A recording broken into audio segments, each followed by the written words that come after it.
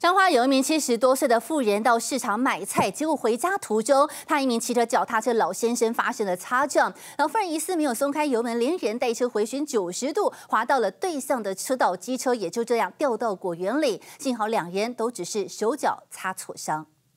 穿着白色上衣的老翁骑脚踏车直行，左后方一辆机车经过时，疑似两车太靠近发生碰撞。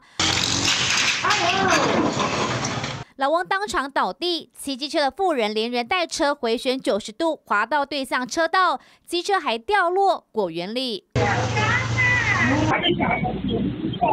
骑机车的妇人爬起来，还大声质问倒在地上的老翁。老翁也回呛撞人还这么大声，还好两人还有力气吵架，没有大碍。附近居民听到碰撞声，纷纷出来查看，帮忙扶起倒地的阿贝，还拿椅子让两人坐下，等待救护车。靠太近了吧？对，靠太近，然后就勾到他。那个阿贝怎么样？状况？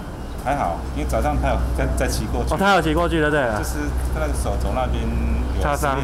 事发在彰化永进乡永兴路三段，六号上午十点多，七十六岁张姓妇人买菜回家途中，疑似未注意车前状况，和六十九岁的张姓老翁发生碰撞，幸好两人都只有擦挫伤。双方都自称要返回住家，经警方酒测，酒测值都为零。